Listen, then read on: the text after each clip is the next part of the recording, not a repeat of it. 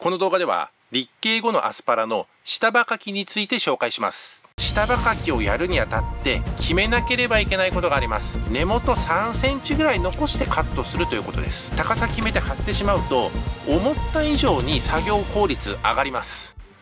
はいサラリーマンが農家になってみたの片本です。いつもご視聴ありがとうございます。早速ですが今日は立茎後のアスパラの下葉かきについてお話しします。前回は摘心の話をしましたけども下葉かきも立茎後のアスパラの管理作業としては代表的なものですよね。この動画では初めて下葉かきをやる方は一度はですね結構考えるんじゃないかなと思う一体何センチの高さまで下葉を描くのですとか実際下葉ってどうやって取り除けばいいのかそして下葉かきの目的についてもお話します。最後にはアスパラ栽培に非常に詳しい方から教えてもらったことも共有します。前回の摘心の動画で長野県のアスパラ農家さんからご自身がやっている摘心作業のノウハウについてコメント欄から教えていただきました。もしアスパラ農家さんでこの動画を見てらっしゃる方いらっしゃいましたらうちでは下葉かきこうやってるようですとか下葉かきにはこんな効果もあるんだよですとかぜひコメント欄から教えてください。僕だけじゃなく視聴者さんのためにもなりますのでぜひよろしくお願いします。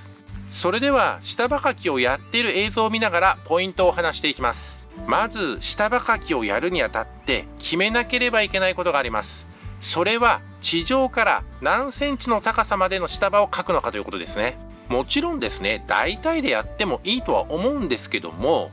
1人でやる場合はそれでもいいと思うんですが例えばパートさんとかお手伝いしてくれる方がいらっしゃる場合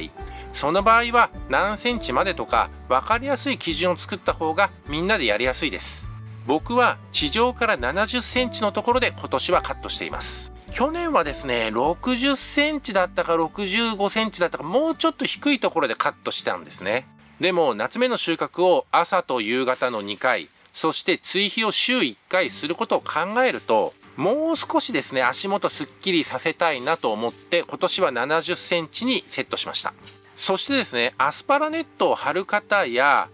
誘引紐のような紐をですね、アスパラ倒れないように上下に巻いたりする方、まあ、こういった方たちに僕がお勧めできることとすれば、下場をかく高さに合わせてアスパラネットですとか、下段に張る紐を張るということですね。僕は今年地上から70センチのところにアスパラネットを張ってますけども、これはですねアスパラをまっすぐ立てるという目的よりも下葉を描くときにこのネットよりも下の葉っぱは描いてくださいという指示を出しやすくするために70センチのところで貼っています。今年はですね入れ替わりで数名のパートさんが僕の農場入ってくださってるんでパートさんたちが作業しやすいように70センチのところでアスパラネットを貼りました。去年はですねそもそもアスパラネットを張らなかったですし下段に紐も張らなかったので下葉かきをやるときは時折メジャーで高さを測りながらやったりパートさんの中にはですねカットしたこの枝ですねこの枝を目安にこう立ててですねだいたいこれぐらいの位置みたいな形でカットしてる人もいました。まあいずれにせよですね非効率ですよね。ネットをですね高さ決めて張ってしまうと思った以上に作業効率上がります。これはですね、親方がやっていたことをヒントに今年やってみたんですけども、非常に良かったので、皆さんにも共有させていただきます。高さが決まったら、実際どうやって下葉を取り除いているかですね。僕は2つの方法でやってます。1つはハサミを使うこと。もう1つは手で取っちゃうこと。一つ一つ説明していきますね。まず、ハサミを使う場合は、僕はですね、キャッチバサミを使ってます。摘心の動画でもご紹介しましたけども、キャッチバサミはですね、カットした枝をそのままハサミがキャッチしてくれるので、こういった作業には僕はすごく重宝してますね。もちろんですね、普通のハサミ、まあ僕の場合は摘果バサミですけども、こういったハサミでもいいんですが、摘果バサミの場合ですと、反対側の手をですね、添えないとカットした時に枝が落ちちゃうので、やはりですね、ちょっと僕は効率が悪いとか作業しづらいかなって感じます。ハサミを使う時に僕が気をつけていることといえば使う前に事前にハサミを消毒すること。それとカットする枝は根元3センチぐらい残してカットするということです。これはミニトマトの脇芽かきから学んだことなんですけども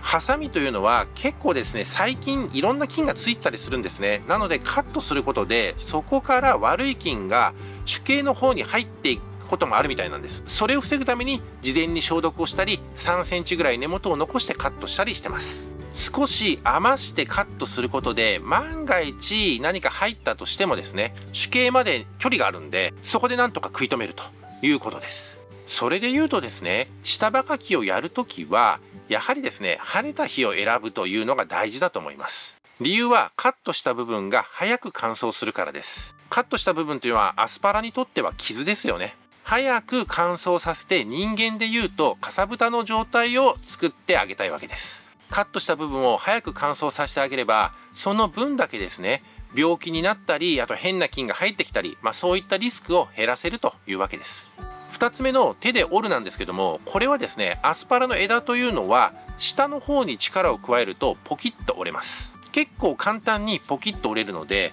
これでですね下葉かきすることも十分可能です。この方が早くていいっていう人もいますよね。注意しなければいけないのは折れにくい枝がたまにあるってことなんですね。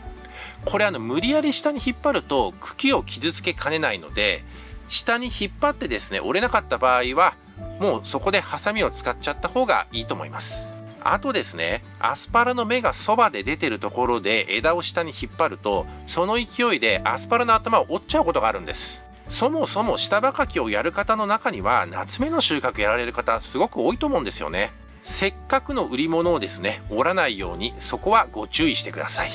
それでは下葉かきの目的をチャット GPT に聞いてみたのでそのことを共有します。詳細は画面を止めて読んでいただければと思うので僕は要約してお伝えします。チャット GPT 曰く下葉かきの目的は3つあります。栄養の適切な配分病気の予防そして日光の取り込みと通気性の向上ですね。栄養の適切な配分と病気の予防についてはミニトマトの下葉かきと同じ理由ですね。3つ目の理由はアスパラならではのこともあるなと僕は感じました。アスパラ栽培には茎枯れ病というアスパラ農家を悩ます嫌な病気がありますよね。そのために堆肥ですとか米ぬかを入れることで微生物を供給したりあとは防除をして防いだり、まあ、こういったことをやられる方非常に多いと思います。でも一番の対策はアスパラの株元に日光を当てることだと専門家から聞いたことがあります。株元にですねしっかり日光を当てることで病気の抑制ができるというんですね。最後に専門家から頂いたアドバイスを共有します。これはアスパラの管理作業全体で言えることでもあるんですけどもカットする高さですとかこういったものは生産者が管理しやすい作業しやすい高さで最終的には決めていいということなんですね。摘心の動画でも話しましたが立形というのは光合成をして養分を株元に貯めてですね来年の春の準備というのが大きな目的です。ですから自分の作業効率とあとはアスパラの光合成、まあ、この2つを見ながらですね最終的には自分で決めていいということなんですね。あまりカットしすぎたり整えすぎたりしますと光合成をする面積自体が減ってしまいますのでそこは注意です。いろいろ世の中にはマニュアル的なもの指標的なものがありますけども、まあ、こういったことをですね考慮しながら試行錯誤しながら最終的には生産所ごとに決めていくと、まあ、こういう考え方になると言われました。